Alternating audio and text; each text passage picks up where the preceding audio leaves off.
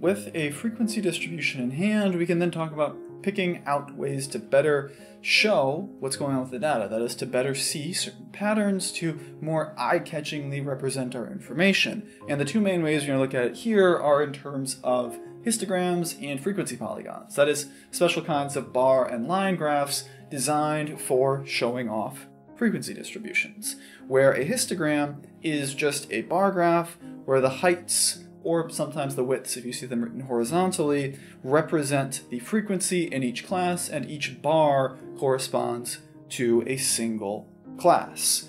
For example, here we can look at the histogram we could generate from the maximum yearly growth dataset, like so.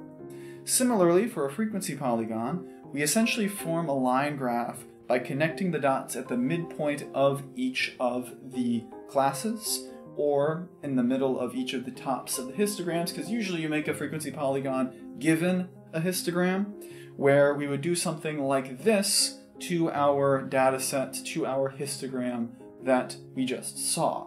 And if you've done anything with calculus, that sort of thing might look a little bit familiar with the word maybe Riemann bouncing around in your head. Don't, don't worry if it doesn't.